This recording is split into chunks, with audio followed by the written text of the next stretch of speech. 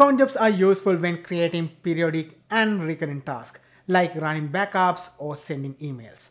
Cron jobs can also schedule individual tasks for a specific time, such as scheduling a job uh, when your cluster is likely to be idle. You can create a cron job using kubectl create cron job command and then you can provide the cron job name, uh, what is the image that you want to use and also you can provide a cron expression using minus minus schedule uh, parameter and then afterwards you can provide any additional commands that you want to pass into this container.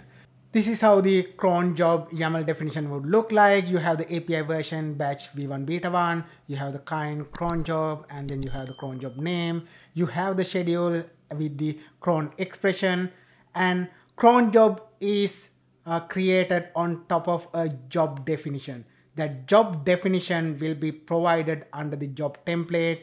If the cron job should be terminated if it takes more than an specified number of seconds uh, to start execution after it is scheduled, you can use starting deadline seconds under the cron jobs spec section.